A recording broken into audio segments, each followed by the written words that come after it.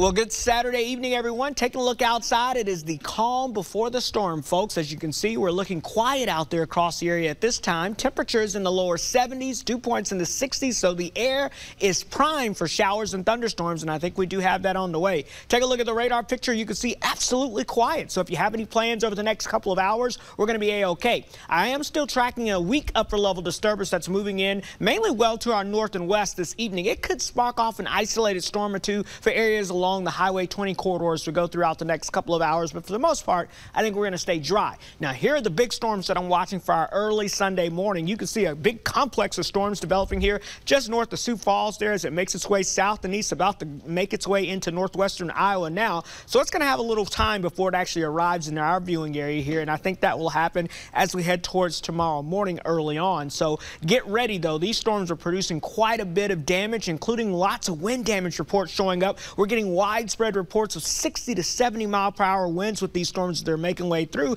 And yes, there have been some isolated tornadoes also reported with this. Little spin-up tornadoes are uh, developing basically along this line of storms that continues to form. And as you can see, as it makes its way south and east, it's continuing to expand. And so that's what we're going to be on guard for. Again, this could be making its way toward our area. So we have this one weak disturbance moving through now. Here comes the big disturbance here just ahead of the cold front. That's the one that's going to produce all the active weather tonight. And you can see these steering wheels are howling out of the west going towards the east. So that will drive any thunderstorm complexes well off to the east, including right into our area later on tonight, but also could tap into some of those strong upper level winds and bring those down to the surface with any thunderstorms that do develop. So over the next couple of hours, an isolated shower or storm or two will be possible, but it's not till we get towards about 4 or 5 o'clock in the morning I'm going to be concerned about those big time storms to our north and west. Here you can see them approaching the northwestern half of the area from Dubuque to Anamosa and Iowa City. And as we get towards about 7, 8 o'clock, those storms will definitely be making their way right on through the heart of the QCA. We're talking from Savanna down to Clinton, the Quad Cities, all the way towards Mount Pleasant and Burlington, and then making their way out towards the south and east between about 9 a.m.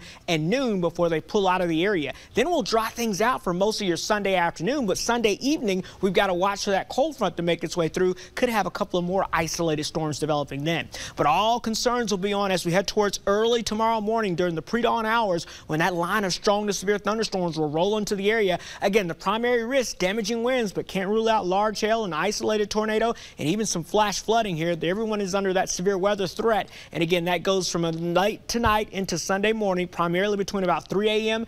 and 9 a.m. And with that heavy rain and that snow, slow moving line of storms moving in, we could be dealing with that potential of some flash flooding as well. So we're going to be watching this for you very closely. Of course, I'll be tracking things late tonight. Teresa will be in early tomorrow morning to keep you updated as well. We'll have those storms early tomorrow morning. Then I think we dry things out briefly tomorrow afternoon before an isolated storm Sunday night. And then we're dry but warm as we get into the beginning of the work week with the humidity on the return.